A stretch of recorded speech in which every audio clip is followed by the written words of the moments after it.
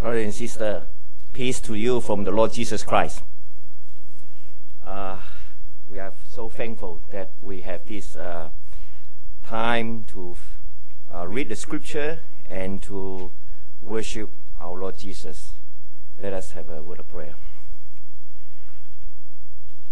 Heavenly Father, we are so thankful that in the midst of this uh, political uh, unrest and instability, we have this time to set apart to worship you. And you are the one who truly reigning in heaven. You are the ruler of the all creations.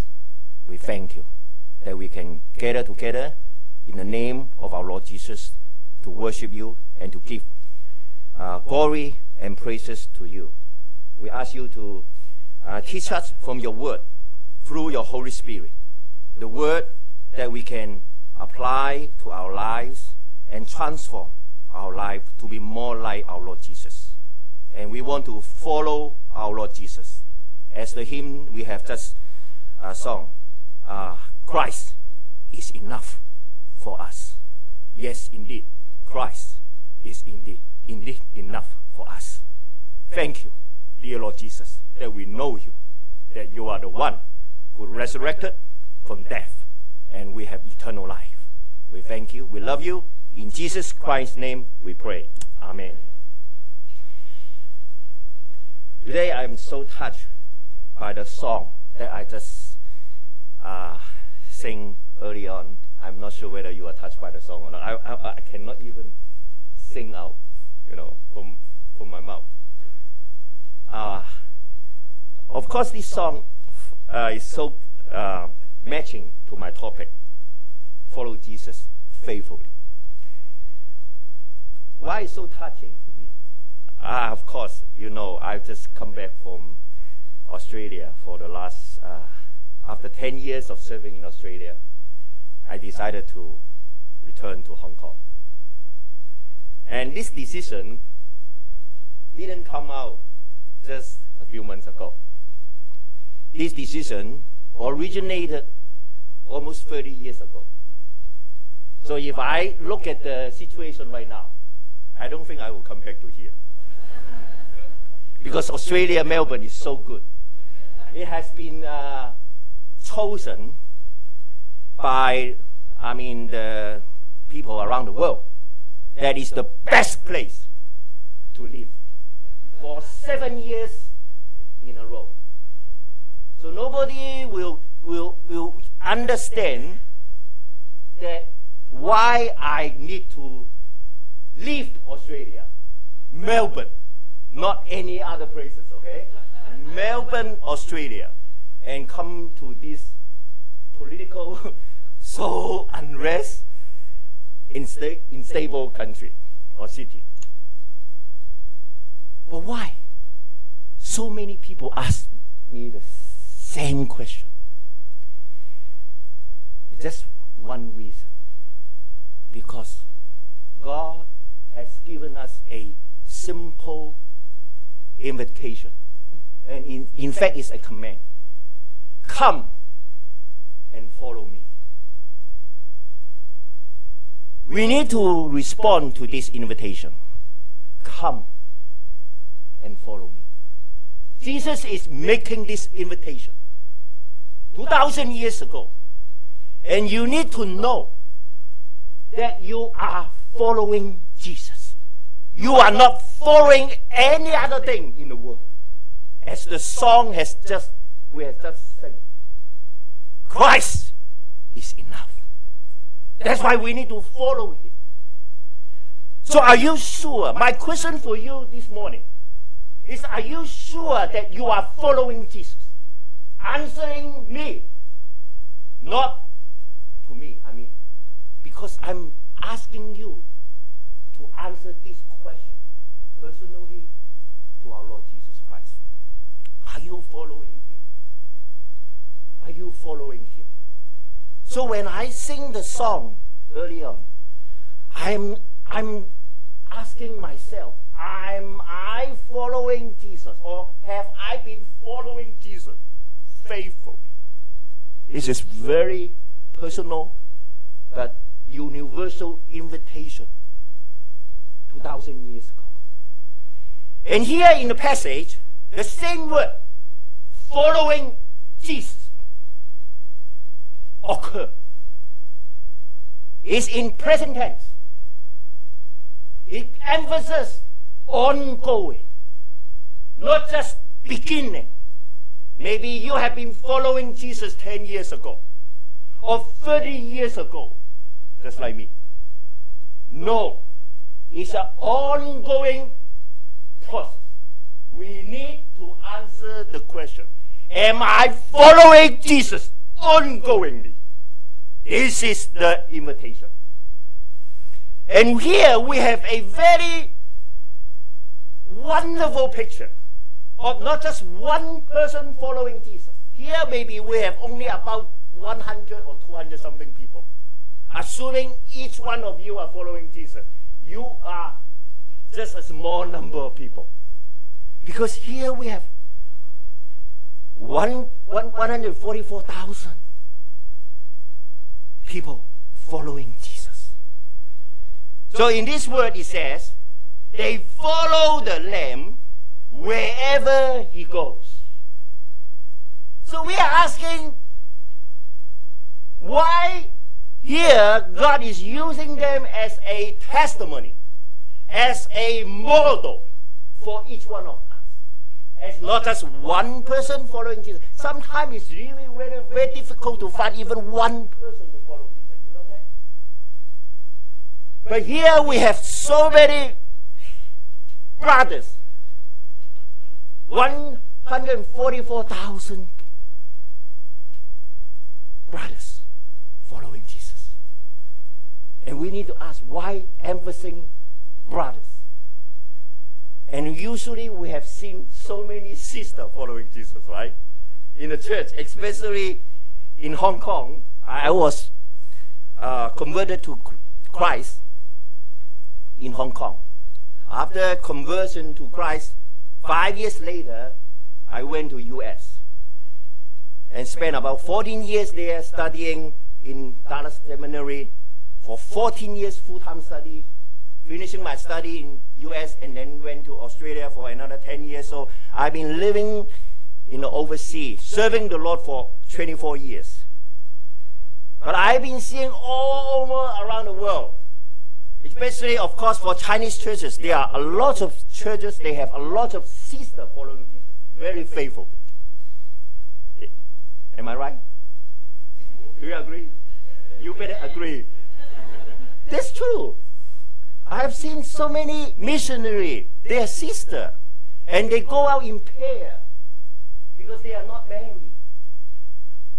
But here we are so interested. Why we have all brothers, they are following Jesus.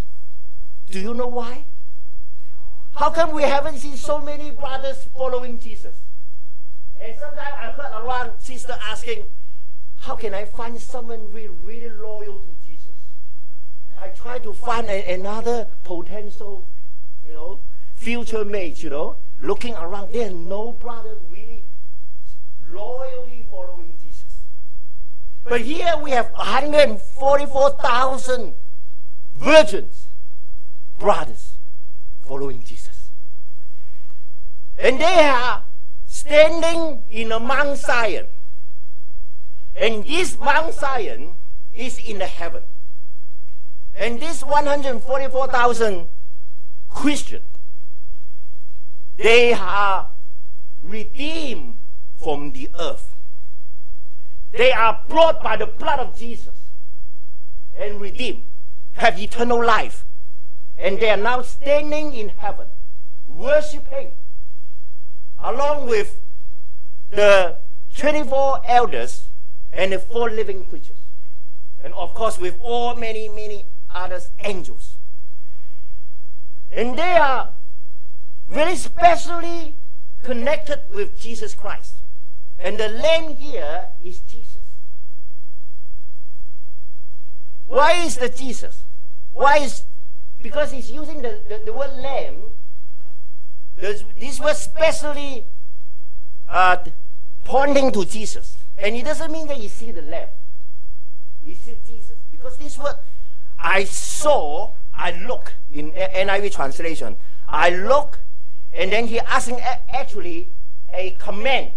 Please look. There's two uh, word here repeating the same word, look or, or behold. So the first one is John said, I look.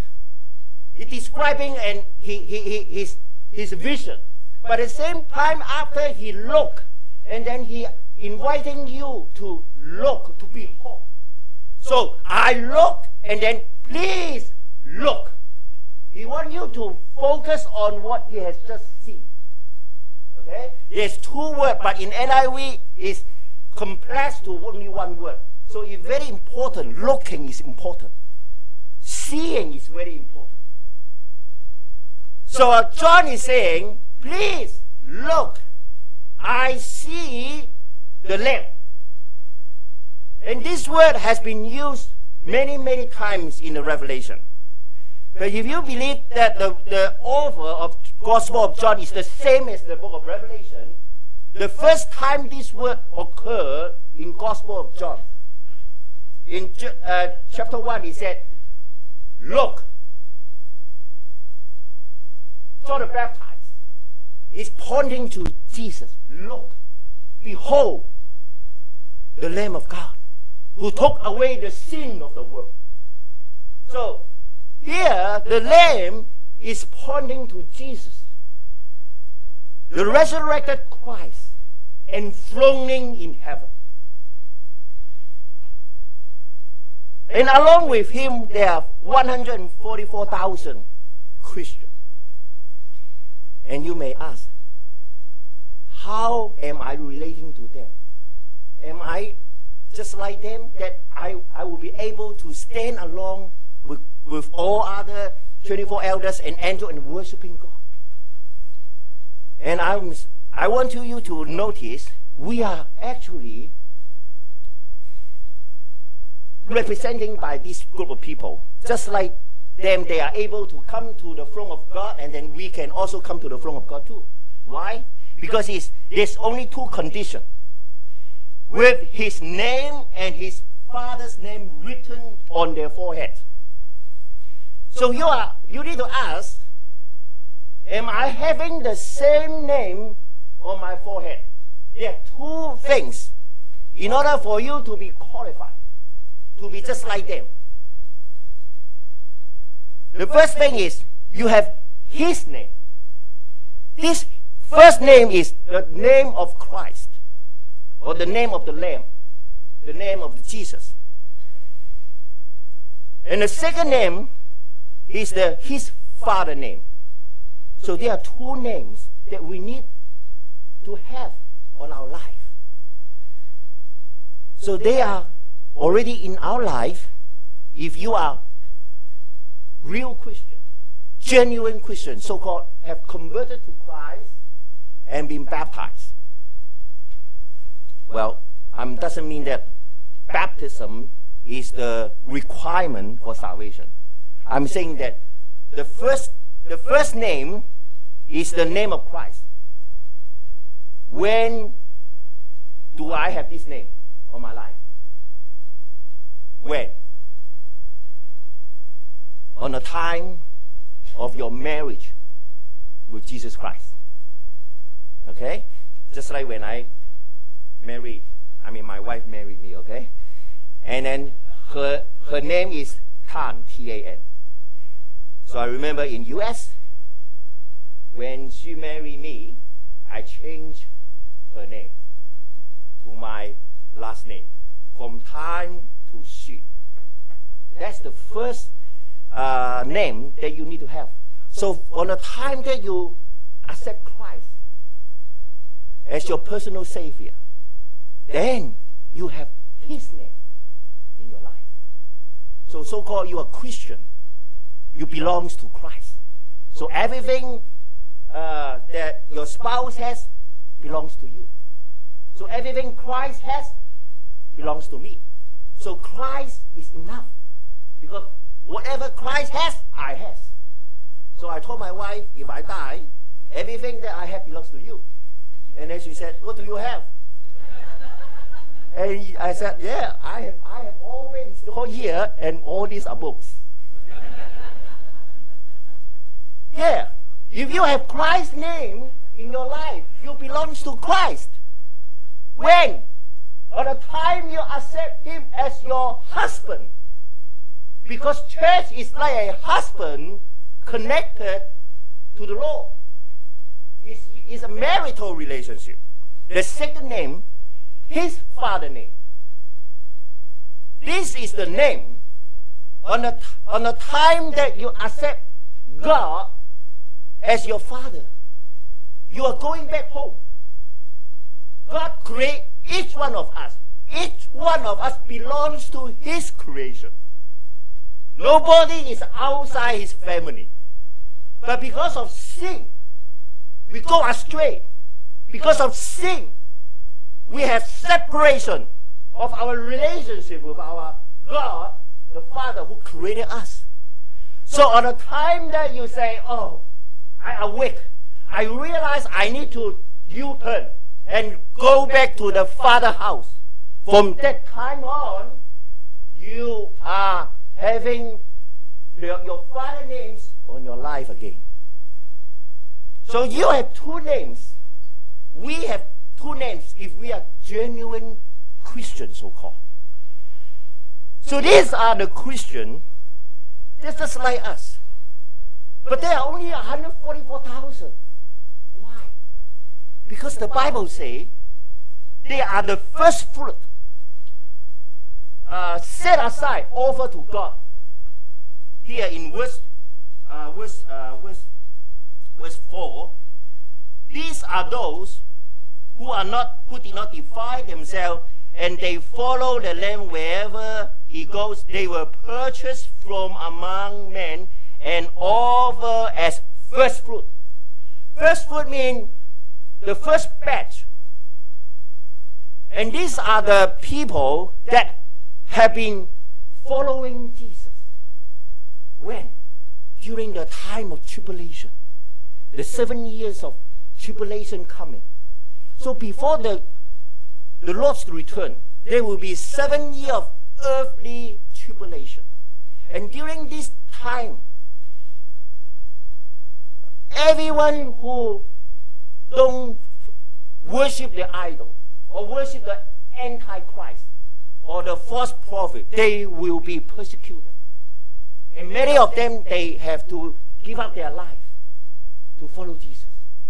And these are the first batch of follower of Jesus during this critical tribulation. So in the future, it doesn't mean only have 144,000. And you have to be this, uh, eh, observing the very uh, big difference between 144,000 Israelites and 144,000 people here. They are not the same thing. Because in Revelation, there are 144,000 Israelites from 12 tribes, and they are Israelites, people of Israel. But here, they are among all nations. They come from all tribes all tongues and all nations. So in representing different kind of people during the tribulation, they follow Jesus. And now they have persecuted by this uh, anti-evil government on the earth, and then they are now martyr and become offspring, first fruit, the first batch of Christian during the time of tribulation offered to God. And they have, they have four things that we need to learn. I'm, I'm asking you the question. How do I know I follow Jesus faithfully? And here we have 144,000 Christians, they follow Jesus, and we can learn from their example. So the first thing is be renewed in worship, or renew your worship, renewal. There are four things. There's a very important word in verse 2 and verse 3. And I heard sound from heaven like the roar of rushing water and like a loud power of thunder. The sound I heard was that like of harpers playing their harps. And they sang a new song. The, the word new here is very important. Because if you look at different translation, in Chinese Bible, they try to dilute this word, new. So in Chinese uh, NIV, the reading is not straightforward. He's trying to say they are trying to sing a song as if as if it's a new one. Why? But in, our, in here, NIV, the, the, the version that we have is a new song. Straightforward. Because there is a few translation. Later, new, uh, I mean later manuscript, they have the word as if. And why Chinese translator try to dilute the meaning of new? Because they have a preconception. Preconception is, a wrong misconception. Because according to the Bible here, there's no word as if. It's just new. So why they choose a, a late manuscript to translate their Bible instead of following the old translation, the old manuscript? You see? Because we are so accustomed to our traditions. That's why we need to see the word. We need to look at the text. And the text is they sing a new song. Absolutely new song. Uh, that is hard to believe. Imagine these are the people, they are already martyred and now glorified before the throne of God. And they are a common concept among the church. They believe that, okay, I'm, I'm so glad I, I, I accept Christ and I can go to heaven. But please, not now. I want to live longer on the earth. of course not Hong Kong, okay? Probably. But I'm, I'm saying a lot of people say it's good to believe God and can go to heaven, but not now. There are so many things I want to do now, I want to finish all these things, enjoy all these things first before I go to heaven. Why? Because in heaven, everything has no change. Everything so-called eternal. Mean, mean no change. It actually means boring. boring. So, Pastor, I'm so glad I accept Christ. Christ take out my sin and I can go to heaven with God. But please don't take away my life first. I want to enjoy my life on this earth first. Why? Because it's so bored over there. And there's no new things in heaven. But I want you to look at this text. The Bible says, when you go to heaven, you will sing a new song. A song that you haven't sung before. Or even you have sung the amazing grace before on the earth. But when you go to heaven, you will sing amazing grace again and then you will experience a direct encounter and transformation for the same song or hymns that you have probably sing for many, many times on your earth. Just like I, I come here this morning, the song that used earlier in the worship, I've been singing for a long time. But I haven't been so touched ever before until this morning. I cannot even say a word when I sing. Why? Because I am having a new renewal, new encounter Lord Jesus. I'm just feeling I'm embraced by the four living creatures and 24 elders in heaven. And it's new encounter. This week, that's interesting. There's a student from Australia, just this week, before I preach this sermon. he sent a, a news to me. It's from a very famous Hillsong songwriter, Marty Sampson. And he publicly said this week he is losing his Christian faith. And he has been uh, offering over 1,600 albums. And every Sunday, we have 5,000, uh, half a million people using his song every Sunday. And then this last week, he publicly tell everybody in the Instagram, I'm losing my faith. And this is what he says. Why? Someone had been so used by God. And then he said, I'm no longer a Christian. This is what he said. Time for some real talk. I am genuinely losing my faith. And it doesn't bother me. Like what bothers me now is nothing. I am so happy now, so at peace with the world. It's crazy. I am not in anymore. I want genuine truth. Not the I just believe it kind of truth.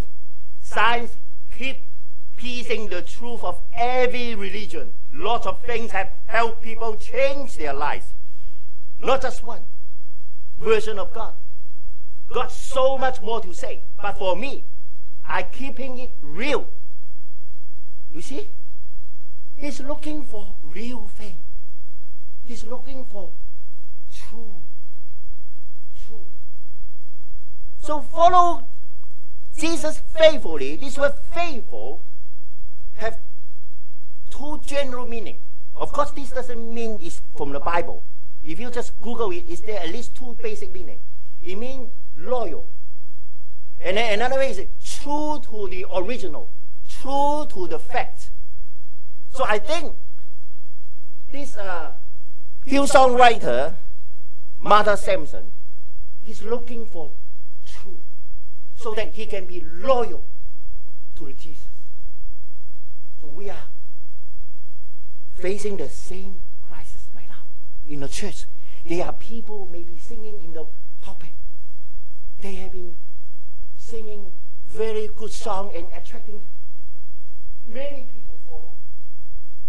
But are they really having a genuine, authentic relationship with Jesus? And why this brother so greatly used by God and he now say, I am no longer a Christian. And I'm doubting the faith that I believe. Why? Because he need to sing new songs. this new mean stepping out your comfort zone. And in order to sing new song, in here there's everything two things. First is by seeing. So this word has been used twice. And by hearing, twice. So in order for us to be transformed or renew, we need to able to see.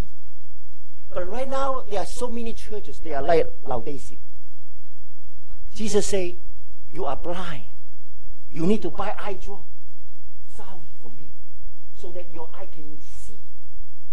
So we have blindness in the church. That we cannot see the Lamb. Jesus is reigning in the heaven. So we need to be able to renew our life by seeing the spiritual reality in the kingdom. Actually, in the Gospel of John, entering the kingdom, actually, sometimes you use the word seeing the kingdom.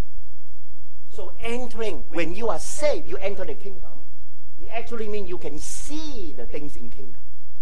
So are you seeing? Are you seeing or hearing there's a song, there, there's a music in heaven? So the first thing we need to examine our life is to renew our worship, renew our ministry.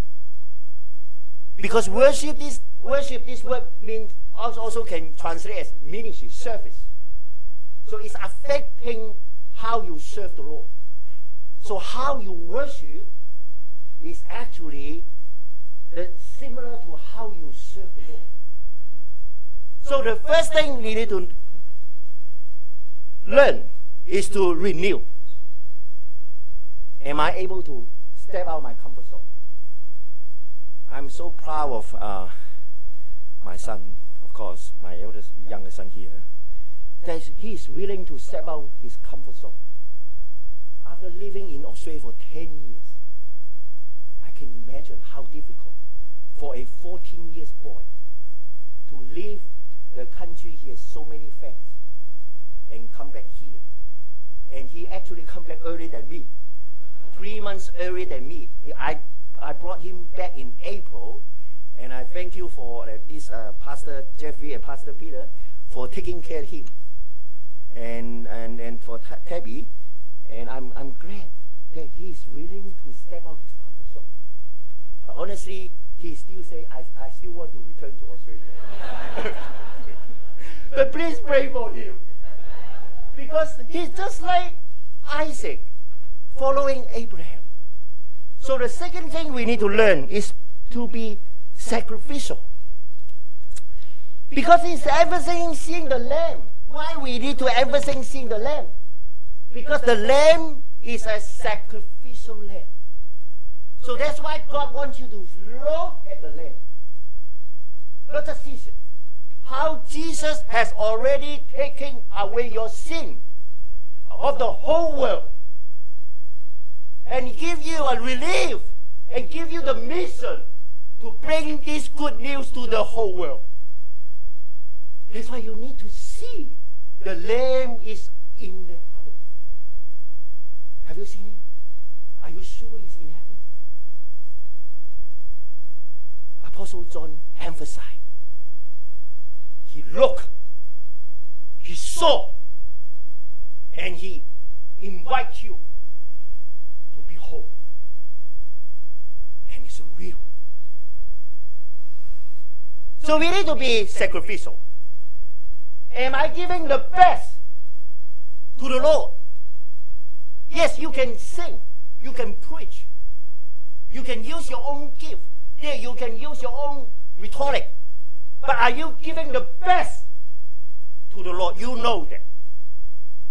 So the so we need to ask ourselves, am I giving the best? Just like here, there are 144,000 who have been redeemed from the earth. They are giving the best. Why? Because they can they can marry actually. But they choose in the time of this tribulation, they choose to remain single. They want to have a full attention, devotion to the God's word, the kingdom ministry. So what have you been sacrificial? What have you been giving up? What is your Isaac? Who is your Isaac? That you need to give up so that you can be like our Lord Jesus, giving his life to serve the purpose of the kingdom. Have you done that? And that is the second thing we need to ask ourselves sacrificial. The third thing, be very faithful in your calling. When God call you, He has a plan for you. He will send you to the mission field and to accomplish the mission. So you need to know what is your calling, especially for brothers. Because if brothers have no vision, when you marry, your wife do not know where to go. Because you don't know where to go. So usually when brother asks me, why, how come God hasn't prepared my next one, my, my, my, my immediate, my, my spouse, how come I haven't seen my sister? Because brother, you haven't sure what you want to do. You haven't been very clear what you want to do in God's kingdom. Because a, a, a, a faithful sister, godly sister, they will look around. Oh, this brother, he really know what to do in God's kingdom. And she was so interested. Am I right? At least my wife told me that. you, you don't need to agree. My wife is here, and she told me that. So be very faithful. Why I need very faithful? There's a very tricky here. People may be faithful in the beginning, but as they go along the route, there will be a lot of obstacles coming up, and they will what? They will back off. They will promise you before the marriage that I will do it, do it, do it like that. But once you get married, everything change because life change. Be very faithful mean from the beginning to the end faith. So Apostle Paul used this word. You don't need to turn to the Bible.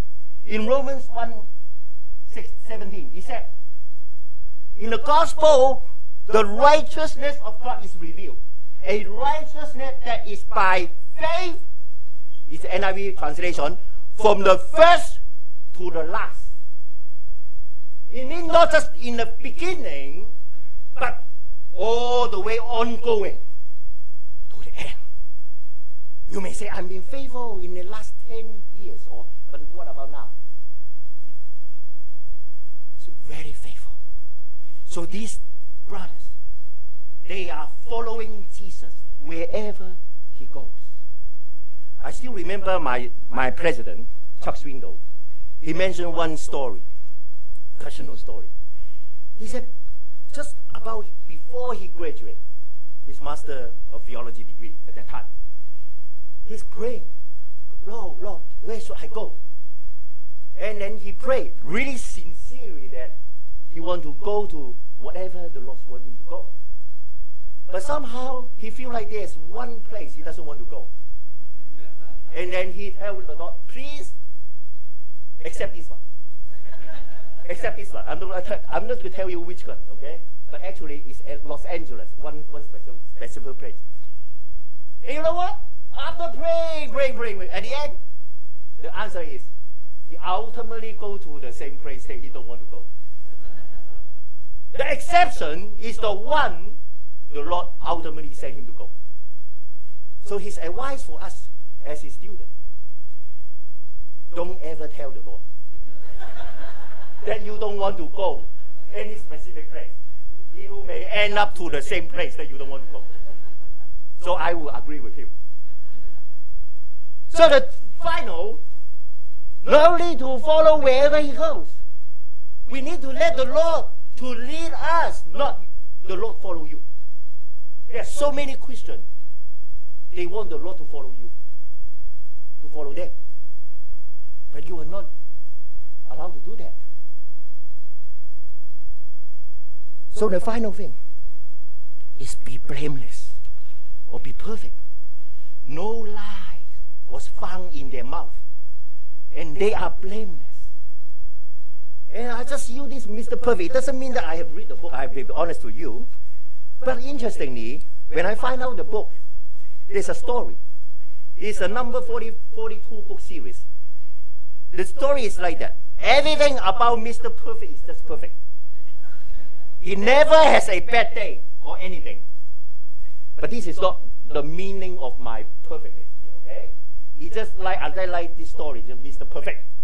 And actually, I, I like another character in the book. One day, hosts a party and invites everyone over is Mr. Perfect, including the ill-mannered Mr. Uppity. Uppity, U-P-P-I-T-Y, Uppity. Who has, who never has a nice thing to say to anyone. It's a big contrast. I, I like this Uppity because it's the, it's the, uh, is the opposite that I want you to see. What do you mean by perfect here? Because here is saying they are blameless in what? In their words. So in James, there is a similar idea. He said, We all stumble in many ways. It means we are not really perfect. We may be a, you know, not a, really a good father. I tell my son I'm not a good father. I tell my congregation I'm not a good pastor probably. I'm not a, really a good teacher to your standard or whatever standard. I know I'm not good. I, I, I may be stumbling in many ways. But what? Anyone who is never at fault in what they say is perfect. This is the thing that we need to learn in our lives in order to follow Jesus. So follow Jesus faithfully mean let people see from our lives, from our word, his Christ likeness. His Christ likeness.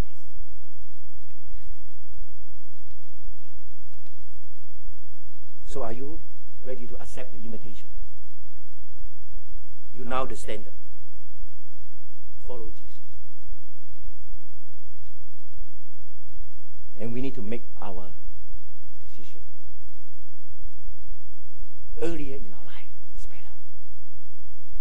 I remember 30 years ago when I accepted Christ. And then a year late, a year something later, or 14 months later, I told my mom, I want to be a minister. My mom said, huh? huh? I said, I want to be minister, mom. Huh? Because I'm working as an audit CPA firm at that time in Hong Kong, KPMG. And he, she cannot imagine what does it like to be a minister. And I said, what do you mean? Oh, I said, God called me to be a minister. So I just want you, you to be prepared. Mom, I know you love me so much. I don't want to you to give you a heart attack. Suddenly see your, your, your son, and the only son, going to seminary, leaving his job. And I know you will give her a heart attack. You will, I know. So I prepare. But my mom said, okay, but not now. not now. Because you, you are so young. Just graduate from the uni. A year and a half. No, not now. As you get uh, get married, you buy a house first, and have a few children. then you can consider to be a minister. How will you respond to a loving mom? Knowing that, well, at that time, by the way, she hasn't been a Christian yet. She has no kingdom concept. And right now, she has she is a Christian, but she has no idea what you mean. So I tell her, Mom, Mother Day is coming. What do you want? I have two bundle of flowers, rose. This bundle is so beautiful, just blossoming. But another one is dying. It's old. And what do you want? He, she doesn't want to answer my question. because she know. And but I give I give her my verdict. Mom, I want to treasure my youthness. I want to give the best to my Lord. Just like you want me to give the best flower to you. So dear brother and sister, Christ enough. Have you decided to follow him? Let's pray.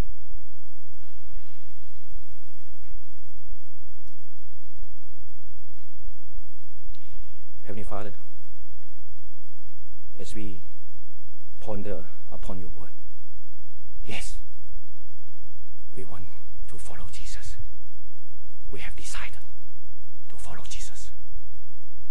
So if anyone here, you make up your mind, you said, I want to follow Jesus. Tell the Lord, yes, I want to follow him.